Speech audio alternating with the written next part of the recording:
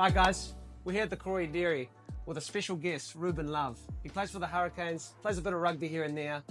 We're going to see what he's feeling and what he's not.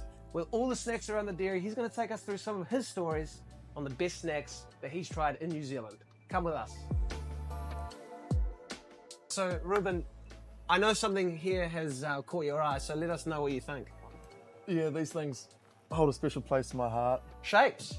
Yeah. Why, did it help you for rugby or something?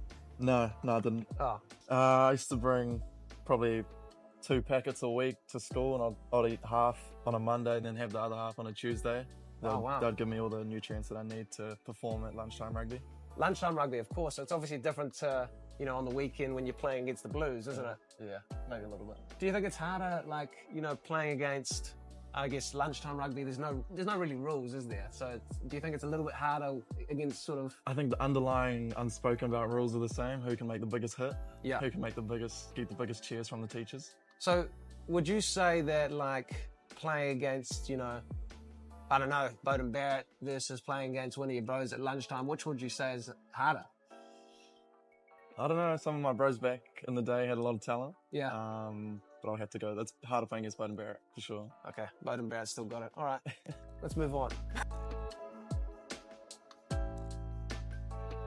So obviously, as an athlete, you're going to have a strict diet, right? Um, so these, you know, I've heard some stories about you and farm baked chocolate chip cookies. Like, tell us about that.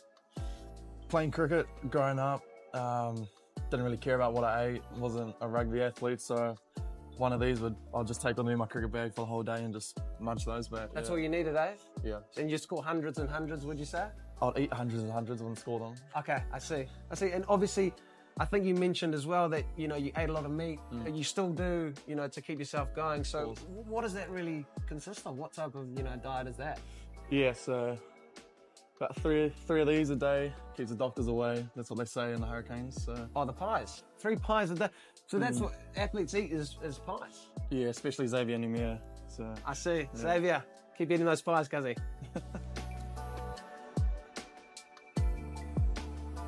so, look, obviously as an athlete, you know, you, you have your strict diet. But before that, like we said, what type of drink would you go to at the dairy? You know, going in there, $2, what are you picking up?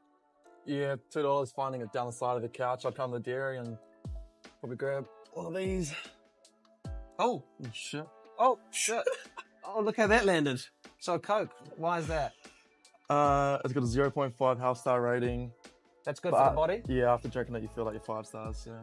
Exactly, like Coke, you know, the fizziness. So, what do you think? Opening that can and getting that first sip, what does it sort of give you? Does it remind you of anything? Is, it, is there any better feeling than that?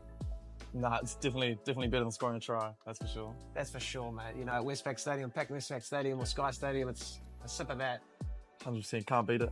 Can't beat it, bro. So, you know, you you used to have this before being an athlete, but now I assume you have something like this, you know.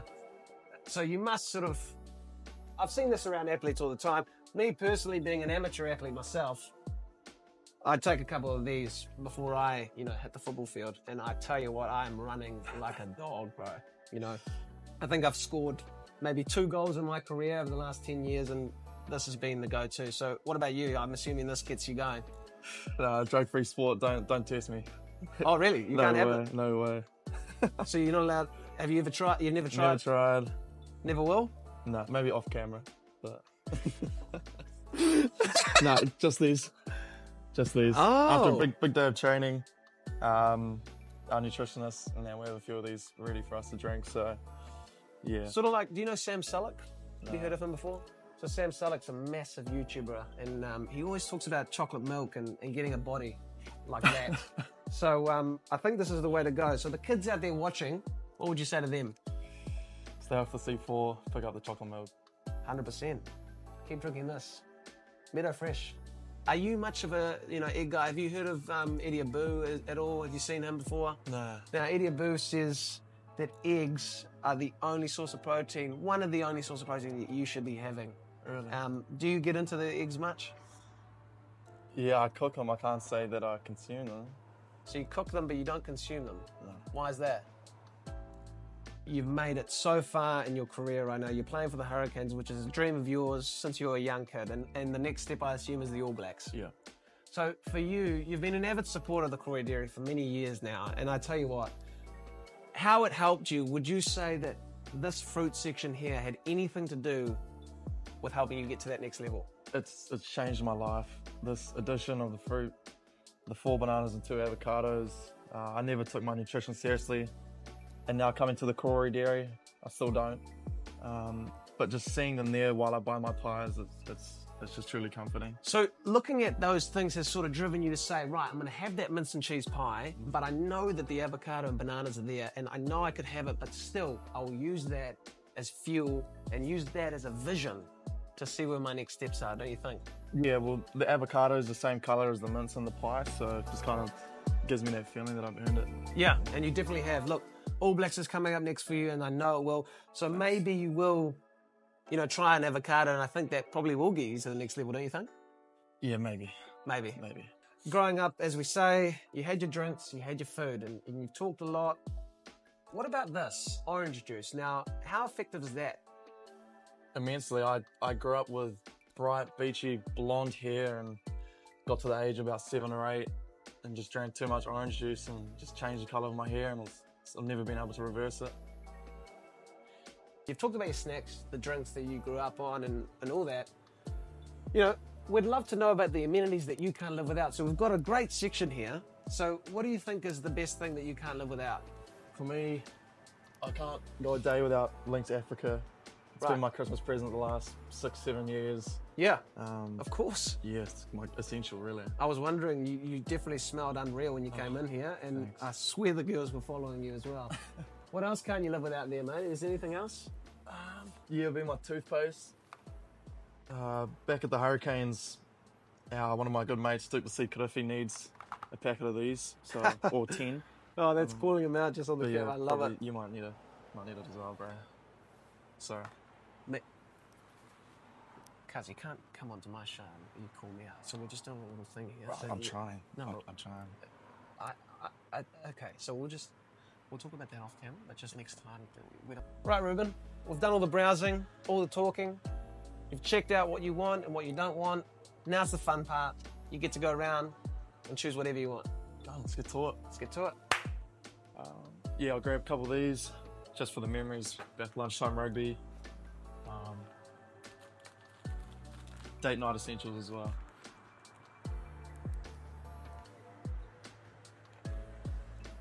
Can I grab that?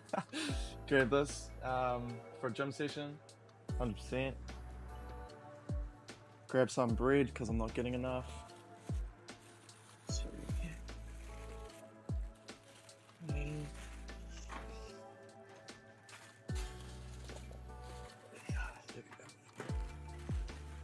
Okay.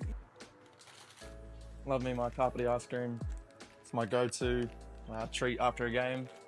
Uh, I have the caramel and almond, so this as well. How you doing today? Is that Good. all? Uh, yes, please. That'll be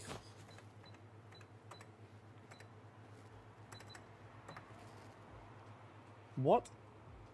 Do you guys not do discounts or something? for what?